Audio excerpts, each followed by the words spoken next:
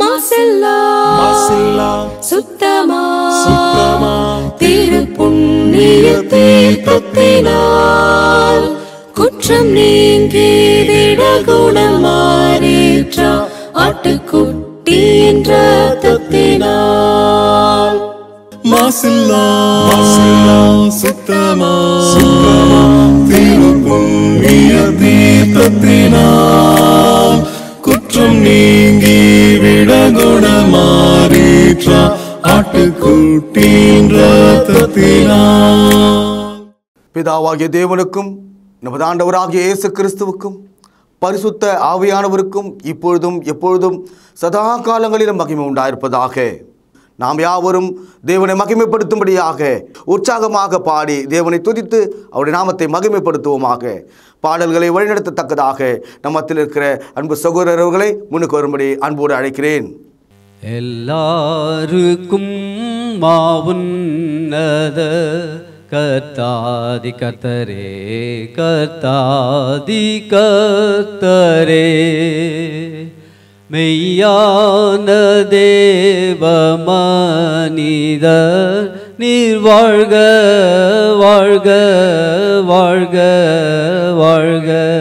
வாழ்க வாழ்க வாழ்க நீர் வாழ்க ஏசுவே வெண்ணில் பிரதானியான நீர் பகைஞர்க்காகவே பகைஞர்க்காகவே. மண்ணில் இறங்கி மாறித்தீர் நீர் வாழ்க வாழ்க வாழ்க வாழ்க.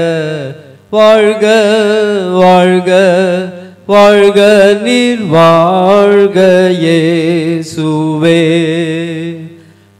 சாசு பாவம் மூலகை உம் சாவால் மீதித்தே உம் சாவால் மீதித்தே. ஜெயித்தடைந்தீர் வெற்றியை நீர் வாழ்க வாழ்க வாழ்க வாழ்க வாழ்க வாழ்க. வாழ்க நீர் வாழ்க இயேசுவே. நிர்வென்ற வென்றபடி நாங்களும் வென்றேறி போகவே வென்றேறி போகவே. பாரத்தில் செங்கோல் செலுத்தும் நீர் வாழ்க வாழ்க வாழ்க வாழ்க வாழ்க வாழ்க வாழ்க நீர் வாழ்க இயேசுவே. இந்த தொழுகையின் முதல் ஜெபத்தை தேவன சமூகத்துக்கு ஒரு பலி போல எடுக்கத்தக்கதாக நம்மத்தில் இருக்கிற சகோதரரை அன்போடு அழைக்கிறேன்.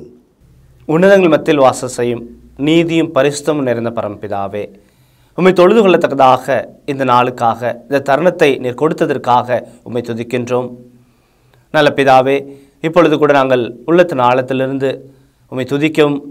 பிதாவை ஆவியோடு உண்மையோடும் உம்மை தொழுது கொள்ளவும் நீர் எங்களுக்கு தயவு செய்தரலும் கிருபையின் நிறைந்த பரம பிதாவே உம்முடைய நன்மைகள் நாங்கள் நினைத்து பார்த்து நீர் எங்கள் மீது வைத்திருக்கிற அன்பை நினைத்து பார்த்து உம்மை துதிக்க போற்ற எங்களுக்கு தயவு செய்தரலும் தாப்னே இந்த தொழுகை முழுவதையும் உம்முடைய கரங்களிலே அர்ப்பணிக்கின்றோம்.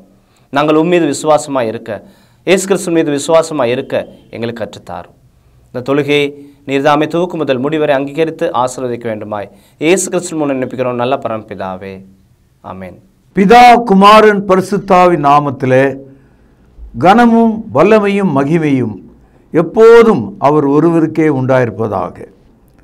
பாசிமுகம் பரிசுத்தவான்களே இந்த வான்வழி நிலப்பரப்பில் பூமியில் நீங்கள் எங்கிருந்தாலும் ஜீவனுள்ள தேவனை தொழுது கொள்வதற்காக இந்த நிகழ்ச்சியை உங்களுக்கு அர்ப்பணிக்கிறதுல மகிழ்ச்சி அடைகிறேன்.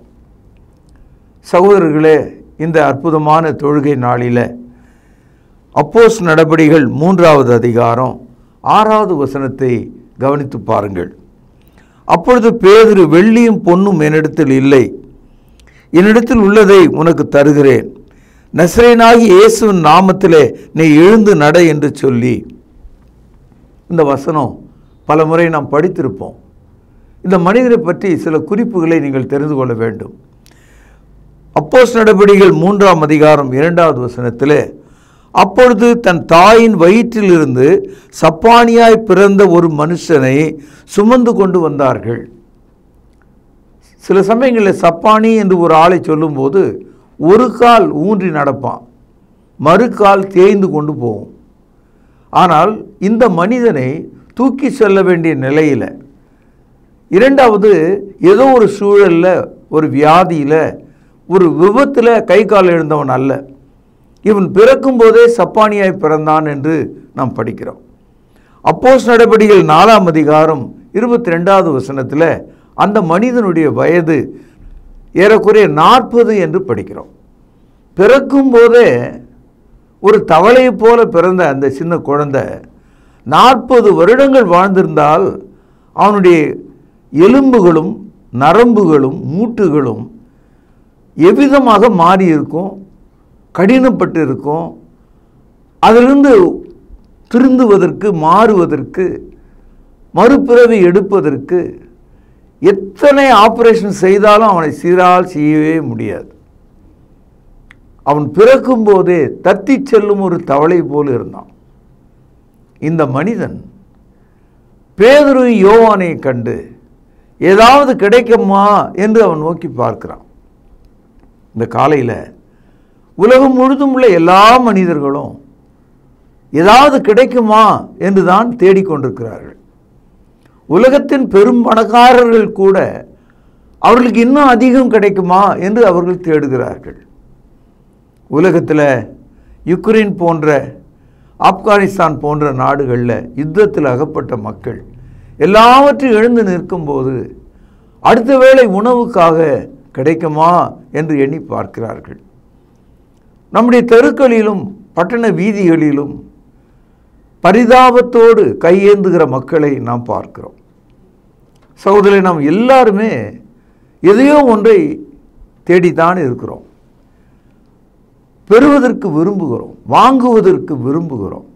இந்த காலையில் இந்த தொழுகையில் நீங்கள் எதை தேடுகிறீர்கள்? எது உங்களுக்கு தேவையாக இருக்கிறது? நம்முடைய இரண்டு கரங்களையும் விரித்து தேவனிடத்தில் எதை கேட்கிறோம்? எதை நாம் கேட்க விரும்புகிறோம் என்று எண்ணி பாருங்கள். நமது ஆண்டவர் ஒரு போதனை சொன்னார். இதை அப்போஸ் நடபடிகள் இருபதாவது அதிகாரம் முப்பத்தி ஐந்தாவது வசனத்திலே நாம் படிக்கிறோம்.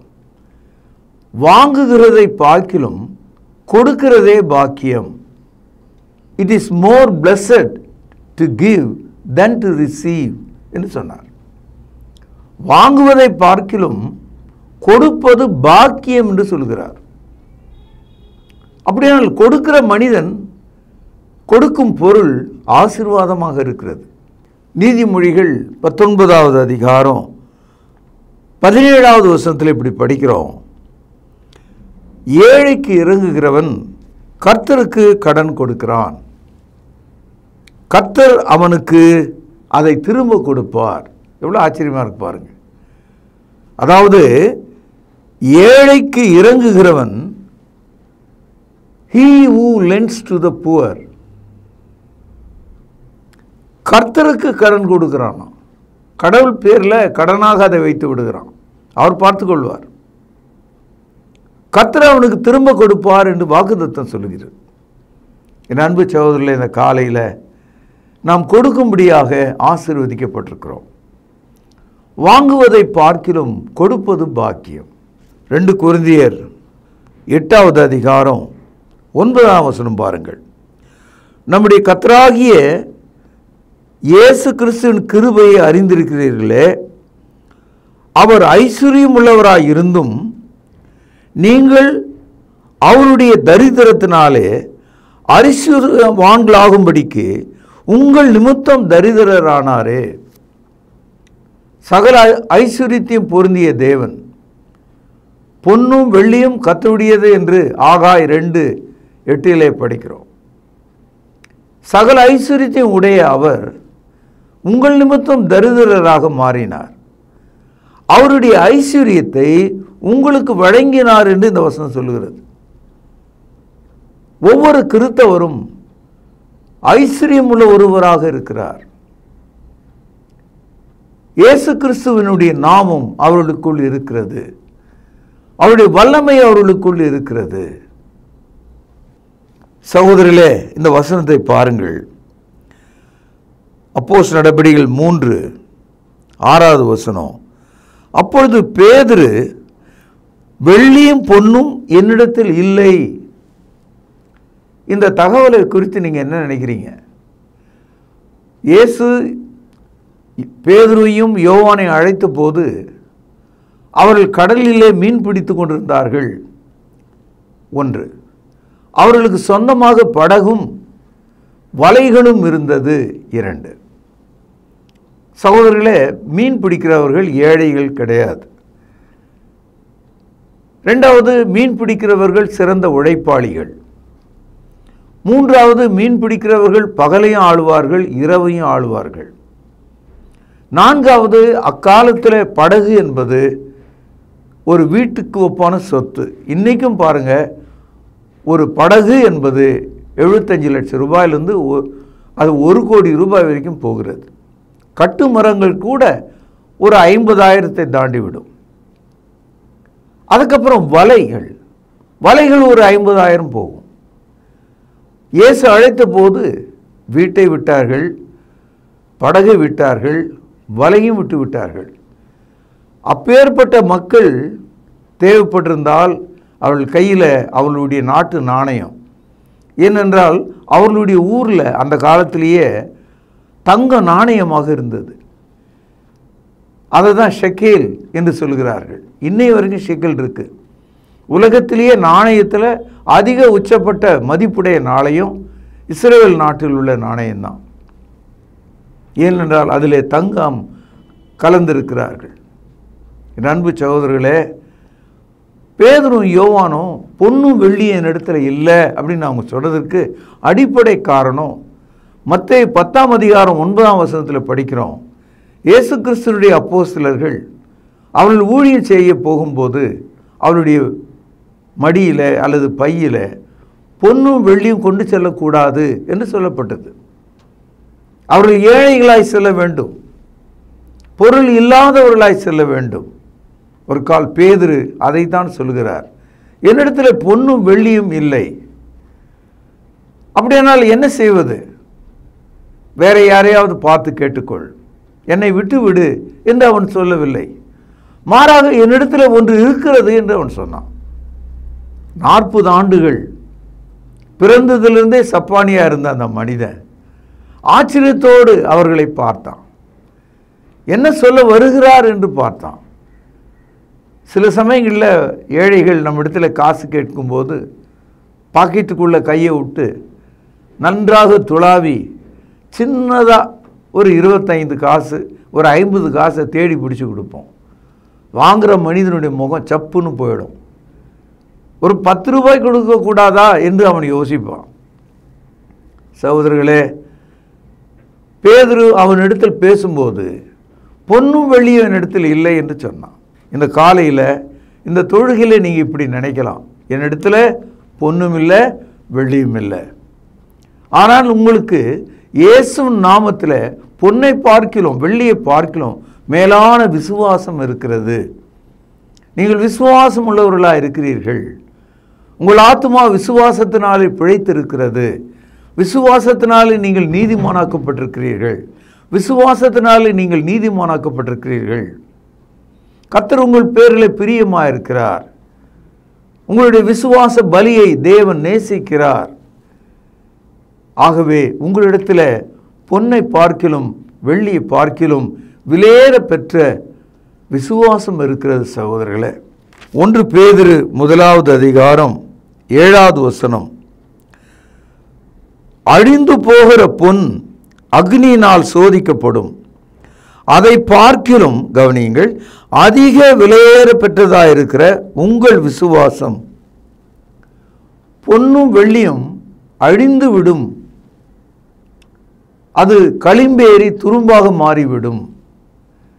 ஆனால் உங்கள் விசுவாசம் சகோதரர்களை கிறிஸ்து நமக்கு வழங்கி இருக்கிற அந்த விசுவாசம் நம்மை ரட்சித்து நித்திய ஜீவனை கொடுத்து பரலோகத்துக்கு ஏறி செல்லக்கூடியதாக மாற்றுகிறது. We have a faith that saved us and we have a destiny to go to heaven. ஒன்று பேதிரு முதலாவது அதிகாரம் பதினெட்டு பத்தொன்பது வசனங்கள்.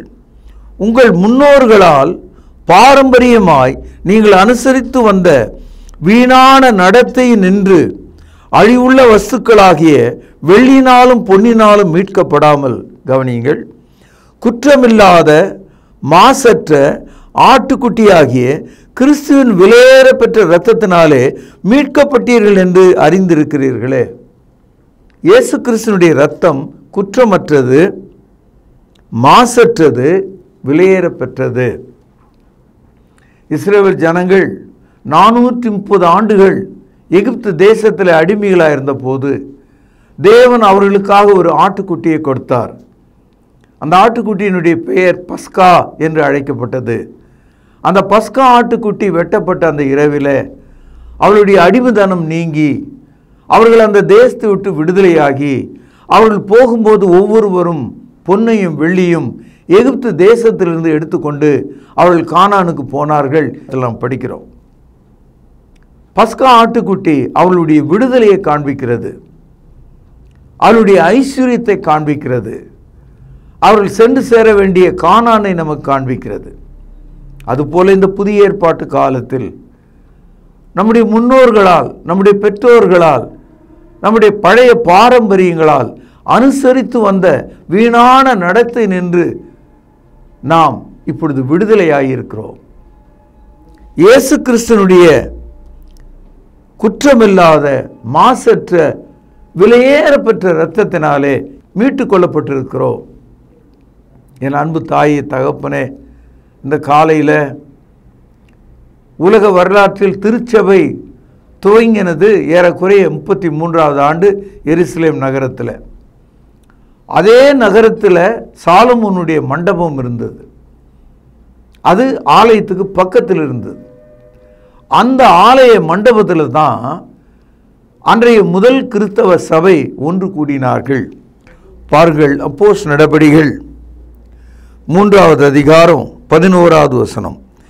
குணமாக்கப்பட்ட சப்பானி பேதுருவை யோவானையும் பற்றி கொண்டிருக்கையில் கவனிங்கள் ஜனங்கள் எல்லாரும் பிரமித்து சாலமோன் மண்டபம் எனப்பட்ட மண்டபத்திலே அவளிடத்திலே கூடி வந்தார்கள்.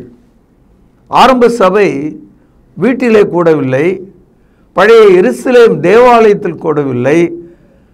சாலமோன் தேவாலயத்தை கட்டிய போது தனக்காக ஒரு அரண்மனையை ஆலயத்தின் பக்கத்திலே கட்டினான். அது அரசனுடைய மண்டபம் என்று அழைக்கப்பட்டது. அந்த சாலமோனுடைய மண்டபத்தில் அந்த சபை ஆரம்ப சபை கூடியிருக்கிறது. ஆகவே பேதரும் யோவானும் தேவனை தொழுது கொள்வதற்காக அவன் புறப்பட்டு போகையில் அவர்கள் ஜெபம் பண்ண போகையில் அந்த வழியிலே உட்கார்ந்திருந்த தாயின் வயிற்றிலிருந்து பிறந்த நாள் முதற்கொண்டு சப்பானியாகவே இருந்த அந்த நாற்பது வயது மனிதன் ஏதாவது கிடைக்குமா என்று அவர்களிடத்திலே அவன் நோக்கி பார்த்தபோது பேதர் அவனுக்கு ஒரு பதில் சொன்னான். என்னிடத்துல பொன்னில்லை வெள்ளி இல்லை. ஆனால் என்னிடத்துல ஒன்று இருக்கிறது என்று சொன்னான். இந்த காலையில் ஒவ்வொரு தாயின் தகப்பனும் ஒவ்வொரு வாலிப பிள்ளையும் உன்னிடத்தில் இருக்கிறதை நீ அறிந்து கொள். தேவன் உனக்குள் வழங்கி இருக்கிற விசுவாசம் அது பொன்னை பார்க்கிலும் வெள்ளியை பார்க்கிலும் மிகுந்த விலையேற பெற்றதாக இருக்கிறது என்னிடத்தில் ஒன்று இருக்கிறது என்று பேதர் சொன்னார். அது என்ன தெரியுங்களா? கத்ராகிய இயேசு கிறிஸ்தனுடைய நாமத்தில் நீ எழுந்து நட என்று சொன்னான். காரணம் இந்த நாற்பது வயசு உள்ள இந்த ஆள் காலமெல்லாம் பலவிதமான காசுகளை பெற்றான். அது பொன்னாக இருந்தது வெள்ளியாக இருந்திருக்கும் செம்பாக இருந்திருக்கும் வேறு ஏதாவது ஒரு உலோகமாக இருந்திருக்கும். அவனுடைய வாழ்க்கை முழுவதும் வாங்கி சாப்பிடுவதுக்கு தான் அது பயன்பட்டது. ஆனால் அவனுடைய நாற்பது வயது காலத்தை அந்த நிலைமையை தவளை போன்ற அந்த மனிதனுடைய நிலையை மாற்றக்கூடிய ஒரு பொருள் ஒரு மருத்துவம் ஒரு உதவி அவனுக்கு எப்போதும் இல்லை. ஒரு காலம் அந்த மனிதன் அவனுடைய வாழ்க்கையில் யோசித்திருப்பான் நான் சாகிற வரைக்கும் சப்பானிதான். என்னால் எழுந்திருக்க முடியாது. என்னை தூக்கி சுமக்க வேண்டும். எனக்கு வயிற்றுக்கு மட்டும்தான் உணவு. வேறு எதுவும் எனக்கு இல்லை என்று அவன் நினச்சிருக்கலாம். இந்த காலையில் அன்பு தாயை தகப்பனே உனக்கு ஆகாரத்தை கொடுத்தவர் உடைகளை கொடுத்தவர் உன் ஆத்துமாவை ரட்சித்திருக்கிறார். அதனாலே நாம் இன்றைக்கு பரிசுத்த தொழுகை செய்யும்படி அவருடைய சமூகத்தில் பரிசுத்தமான பலிகளை செலுத்தும்படி நாம் இப்பொழுது கூடியிருக்கிறோம். அந்த நாற்பது ஆண்டு கால அந்த மனிதனுக்கு கிடைக்காத ஒரு வெகுமதியை இயேசு கிறிஸ்தனுடைய நாமத்திலே பேதர் அவனுக்கு கொடுத்தான். அவனுடைய கையை பிடித்து தூக்கினான். தவளை போன்று தரையிலே படுத்து கிடந்த அந்த மனிதன் உங்களைப் போல என்னைப் போல ஒரு ஆறடி உள்ள மனிதனாக எழுந்து நின்றான். அது எப்படி நடந்தது என்று எனக்கு தெரியவில்லை. சில சமயங்களில் ஆங்கிலத்தில் ஷட்டர் ரோலிங் ஷட்டர் என்று சொல்லுகிறார்கள். அதாவது ஒரு பெரிய கடை அதன் வாசல் இருக்கிற கதவு சுற்றக்கூடிய ஒன்றாக இருக்கும். தூக்கி விட்டால் அப்படியே நேராக மேலே போய் சுற்றிக்கும் கீழே இழுத்து விட்டால் தரை மட்டும் வந்து நிற்கும் ஷட்டர் டோர் இழுத்தா கீழே வரும் தள்ளினா மேலே போகும். அந்த மாதிரி ஒன்றரை அடி உயரத்தில் ஒரு மூட்டை போல ஒரு தவளை போல இருந்த அந்த மனிதன் அவன் எழுந்து நின்றான். அவன் எலும்புகள் வளர்ந்தது. அவன் மூட்டுகள் சரியானது. அவனுடைய நரம்பு மண்டலம் சீர்பட்டது. அவனுடைய கழுத்து நின்றது. அவன் ஒரு முழு மனிதனாகிறான். அவனுக்கே ஆச்சரியமாக போச்சு. பாருங்கள் ஏழாவது வசனம். வலது கையினால் அவனை பிடித்து தூக்கி விட்டான் உடனே அவனுடைய கால்களும் கரடுகளும் பலன் கொண்டது. கரடு என்பது மூட்டுகள். அவனுடைய கால் மூட்டு சீராகிவிட்டது அவன் அவன்தானா? நமக்கு தான் இந்த நிலைமை வந்ததா என்று அவனுக்கே ஆச்சரியமாக போச்சு. ஆகவே மற்றவர்களைப் போல அவன் என்ன செய்கிறான்? எட்டாம் வசனம் பாருங்கள். அவன் குதித்து எழுந்து நின்று நடந்தான். தன்னுடைய முய் முழு கை கால்களை உதறி பார்த்தான்.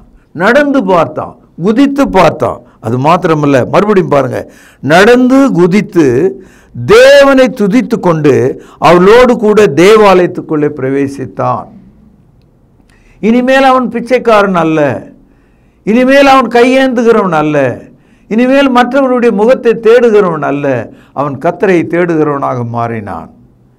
இந்த காலையில் நீங்களும் எழுந்து குதித்து காலும் கா கரடுகளும் பலன் கொண்டு தேவனை துதிக்கிற மக்களாக மாறுங்கள்.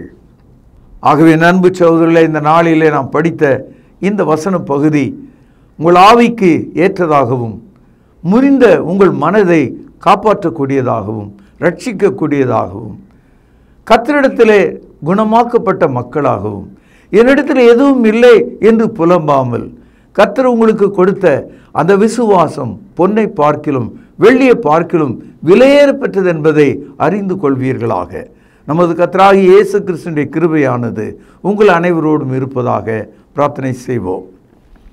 கிருபையும் இரக்கமும் நிறைந்த தகப்பனே விலையேற பெற்ற மாசற்ற குற்றமற்ற இரத்தத்தினால் மீட்கப்பட்ட திருச்சபை பிறருக்கு கொடுக்கத்தக்கதாக கத்தராகி இயேசும் நாமத்தை வழங்கும்படியாக ஒவ்வொருவரையும் ஏவியருளும் கேட்ட மக்களை ஆசீர்வதியும்.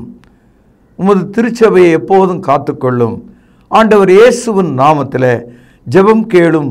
ஜீவனுள்ள எங்கள் நல்ல பிதாவே ஆமேன். நம்முடைய கத்தராகி இயேசு கிருஷ்ணனுடைய கிருபையானது உங்கள் அனைவரோடும் சதா காலமும் நிலைத்திருப்பதாக. ஆமேன். கர்த்தருடைய பந்தியிலே பங்கு கொள்ளும்படி நம்மை நாமே ஆயத்தப்படுத்துவோம். ஆண்டவராகிய இயேசு கிறிஸ்து காட்டிக் கொடுக்கப்பட்ட அன்று ராத்திரியிலே அப்பத்தை எடுத்து ஆசீர்வதித்து இதை பிட்டு நீங்கள் வாங்கி புசியுங்கள். இது உங்களுக்காக பிற்கப்படுகிற என்னுடைய சரீரமாக இருக்கிறது என்று சொல்லியிருக்கிறார்.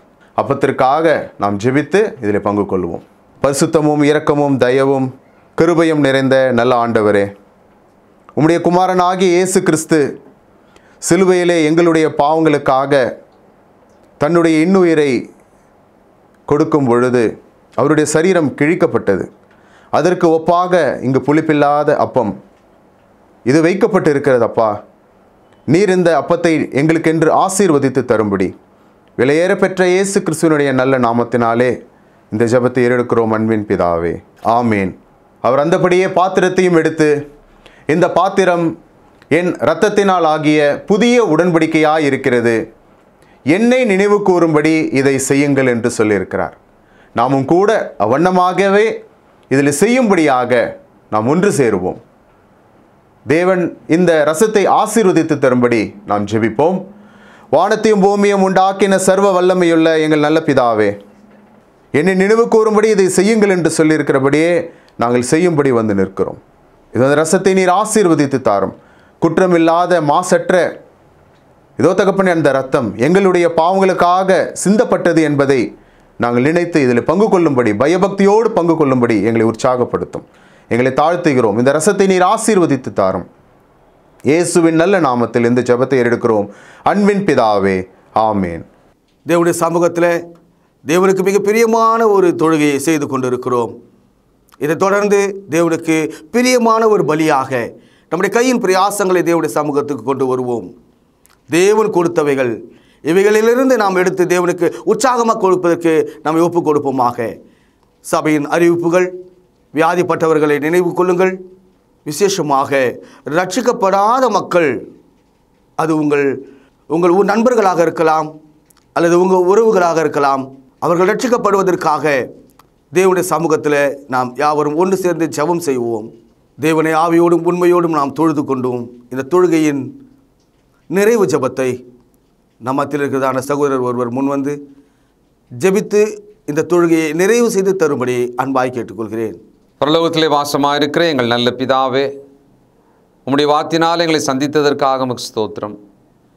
அண்ட சராசரங்களின் மீது அதிகாரமுடையவராகிய உமக்கு எங்களை தாழ்த்தி ஒப்புக் கொடுக்கிறோம் வார்த்தையினால் சர்வத்தையும் தாங்குகிற எங்கள் ஆண்டவர் இயேசு கிறிஸ்துவின் கீழாக எங்களை ஒப்புக் கொடுக்கிறோம் நாங்கள் எதையுமே செய்ய முடியாது ஆனால் பரிசுத்தாவியின் பலத்தினாலே செய்ய முடியும் என்பதனால் அந்த பரிசுத்த ஆவியானவருடைய ஆளுகைக்கு எங்களை ஒப்புக் கொடுக்கிறோம் தொடர்ந்து எங்களையும் எங்கள் வீட்டாரையும் பிள்ளைகளையும் ஆசிர்வதிப்பீராக. வியாதியை சுகமாக்கும் பலவீனங்களை நீக்கும் பலவிதமான பாரங்கள் நின்று விடுதலை செய்யும். உம்முடைய மக்களுக்கு வேண்டிய சமாதானத்தை தாரும். ஆண்டவர் இயேசு கிறிஸ்துவின் மூலமாகவே நாங்கள் பிழைக்கிறோம் அவருடைய கிருபையினால் வாழுகிறோம். உண்மையை கனப்படுத்தி ஸ்தோத்திரித்து ஆண்டவரும் இரட்சகரும் ஆகிய இயேசு கிறிஸ்துவின் புண்ணிய நாமத்தில் துதித்து ஜெபிக்கிறோம். நல்ல பிதாவே ஆமேன். Amen.